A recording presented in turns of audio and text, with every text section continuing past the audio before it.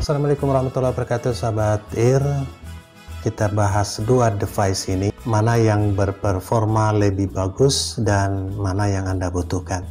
Dari segi harga misalkan Orbit Pro lebih murah uh, dibandingkan dengan ProLink DL7303 dari segi performa anda membutuhkan Trafput 1 tambah 1 sama dengan 2 ini ada pada ProLink DL7303 ini adalah dua device yang sama-sama MIMO, sama-sama Cat6, support multi multiple input, multiple output yang sekarang banyak di pasaran dan diburu oleh para pengguna online, terutama pengguna router 4G. Oke sahabat tir, semua tergantung dari kebutuhan Anda. Kedua-duanya bisa support antena outdoor dan juga bisa menggunakan antena bawahan atau antena defaultnya. E, sensitif sinyal yang bagus. Keduanya kita akan melihat dari sisi fisiknya maupun sisi perangkat lunaknya yang support untuk hal-hal tertentu sesuai dengan kebutuhan kita. Simak video berikutnya.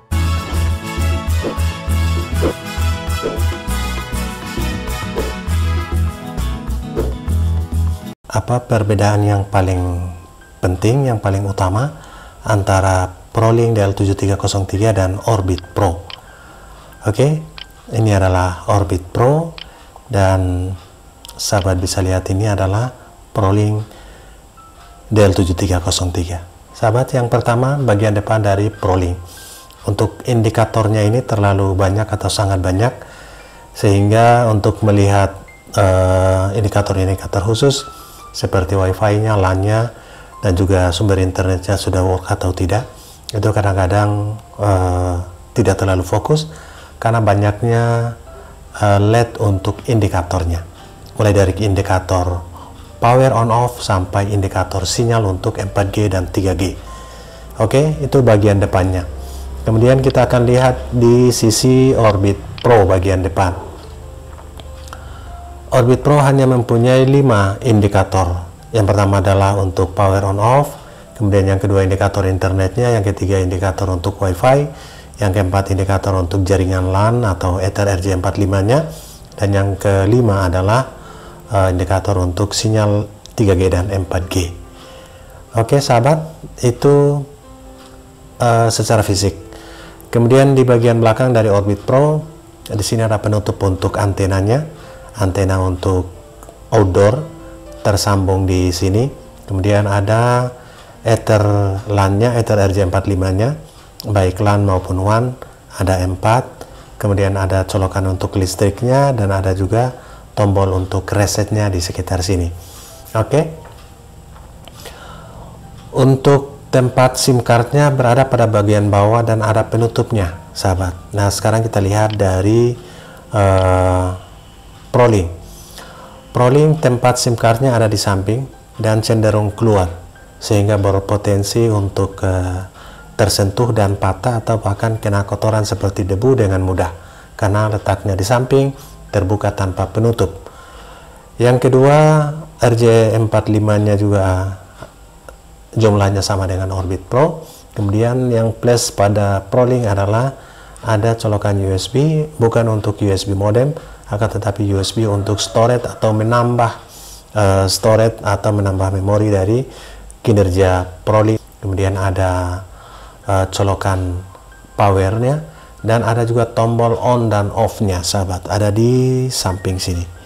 Jadi ini sisi untuk kartu sisi sebelahnya untuk power on dan off nya oke sahabat itu adalah tampilan dari RJ45 eh, RJ45 dari ProLink dan juga bagian-bagian penting dari ProLink secara fisik. Kemudian kita lihat ProLink di bagian antena. Uh, di ProLink ini untuk memasang antena outdoor kita harus melepas antena ini dan tempat colokan antena ini antena ini agak masuk ke dalam. Colokan antena antara antena satu dan antena dua. Untuk uji antena satu dan antena dua menggunakan single pigtail dan dual pigtail sudah ada pada video uh, sebelumnya. Untuk memasang pigtail konektornya ini harus uh, menggunakan alat karena ini uh, masuk agak ke dalam sehingga tidak bisa dijangkau oleh jari untuk memutarnya jika menggunakan uh, antena outdoor dengan konektornya. Untuk memutar konektor, kita harus menggunakan alat seperti tang yang kecil untuk mengencangkan konektor pigtailnya yang tersambung dengan antena. Inilah uh, minusnya yang agak sulit pada pemasangan antena outdoor pada ProLink DL7303. Oke sahabat, itulah secara fisik untuk uh, Orbit Pro di area sini ada penutupnya. Jika kita membuka maka ada konektor yang bisa kita sambungkan untuk pigtail ke antena outdoor. Untuk memutarnya pun uh, tidak terlalu ribet karena datar uh, dan areanya luas. Dibandingkan dengan uh, prolink lubang ke dalam dan kita memasang konektor membutuhkan uh, tang atau alat pemutar. Itulah secara fisik untuk detailnya secara keseluruhan Orbit Pro lebih tinggi dan lebih lebar. Akan tetapi untuk uh, ketebalannya sahabat untuk ketebalannya ini lebih tebal lebih tebal Prolink daripada Orbit. Untuk lebar dan tingginya masih lebih lebar dan lebih tinggi Orbit Pro. Oke untuk uh, kita lihat kelebihan dari Prolink. Nah, sahabat bisa lihat uh, Prolink pada saat internetnya on, ada pada saat penetrasi untuk online, maka frekuensi band ini di sini tertulis sahabat bisa lihat. Nah, ini diuji pada sel ID 43. Di sini frekuensi bandnya B3 tambah B1. Inilah yang disebut dengan uh, terbentuknya link aggregation, link agregasi pada Prolink DL73 mikrotik yang biasa dilakukan settingan pada itu menggunakan settingan bonding. Settingan bonding atau membentuk link agregasi uh, dua ISP uh, menjadi satu pada mikrotik membentuk link agregasi sehingga throughputnya bisa dua kali lipat.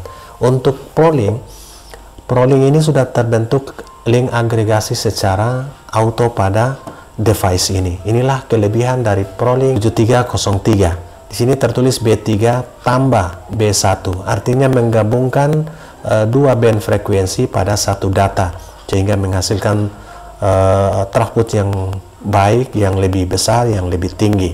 B3 tambah B1. Di sini sel ID-nya 43, RSRP-nya minus 9, RSRQ-nya minus 10, SINR-nya 7,2, dan RSSI-nya minus 69. Oke, kemudian kita lihat Sinyal tipenya untuk ProLink DL7303 ini sudah 4G Plus atau 4G Advance. Ini diambil langsung dari koneksi ProLink uh, supaya tidak berubah-ubah kita ambil dalam bentuk capture ini.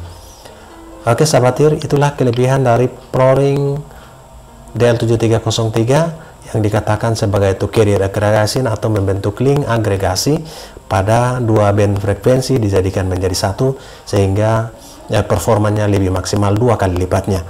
Sekarang kita lihat uh, dashboard dari Orbit Pro. Nah, sahabat, di sini tertulis band 1 garis miring 3. Sedangkan di di ProLink DL7303 ini B3 tambah B1. Di sini artinya tambah, menggabungkan. Sedangkan di Orbit Pro ini 1 per 3 artinya di sinilah fungsi seakan-akan fungsi load balance.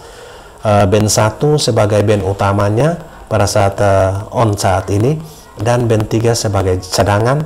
Di saat band 1 low akan digantikan dengan band 3 dia tidak akan jalan bersamaan karena di sini band 1 garis miring 3 artinya uh, performanya akan bergantian ketika satunya low.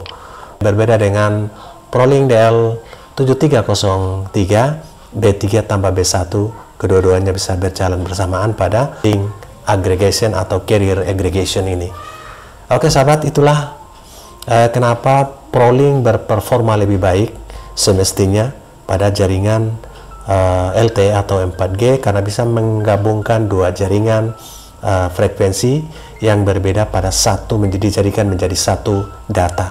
Terbukti dengan frekuensi band 73 03 ini adalah B3 tambah B1 B3 1800 frekuensinya dan B1 2300 digabungkan menjadi satu. Sedangkan di Pro B1 sudah sebagai band utamanya dan eh, B3 sebagai band cadangan atau band uh, balancernya balancing atau balancernya. Oke? Okay? inilah Orbit Pro sebagai load balance fungsi uh, tidak nampaknya dan ProLink sebagai bonding atau link aggregation uh, bisa terjadi di sana tanpa kita harus melakukan settingan khusus pada mikrotik. Jadi daripada repot-repot melakukan bonding pada mikrotik satu tambah satu sama dengan dua uh, ataupun kita melakukan load balance menyeimbangkan pada uh, mikrotik, mendingan kita menggunakan Orbit Pro sudah otomatis otomatis untuk load balance dan uh, ProLink DL7303 sudah otomatis untuk agregasinya. Sudah terbentuk link agregasi sehingga satu tambah satu sama dengan dua semestinya. Walaupun uh, tidak selalu 100% satu tambah satu sama dengan dua akan tetapi performa tetap berbeda atau naik sedikit signifikan. Oke sahabat itulah perbedaan utama yang perlu diketahui uh, kenapa memilih ProLink DL73 karena kelebihan pada uh, carrier agregasi dapat membentuk link agregasi sehingga performanya bisa dua kali lipat dari modem biasa. Selain dari 4G Advanced atau 4G Plus link, link agregasi pada ProLink DL7303 ini di sinilah kelebihannya.